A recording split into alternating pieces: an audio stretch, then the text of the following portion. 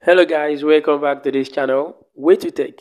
Today's video we want to talk about transferwise as you know that um, it is very difficult to get back your um, email and your your password to your transferwise account if you have actually forgotten about it. But don't worry anymore because in today's video i will show you a very quick and easy way to actually get back and see your transferwise password and email if you've actually forgotten about it. So let's begin.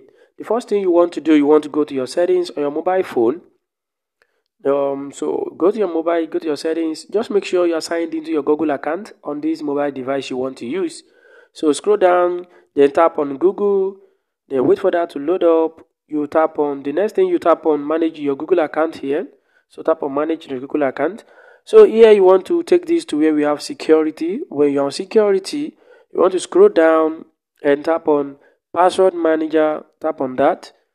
Tap on the password manager. Okay okay it has successfully showed us all our saved passwords on this device. But for this tutorial we want to learn you want to see our transferwise password. So let's type in transferwise here. Transferwise.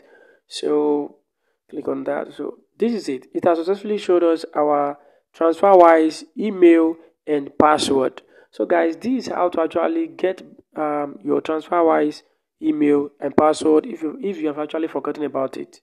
Thanks for watching. See you in the next video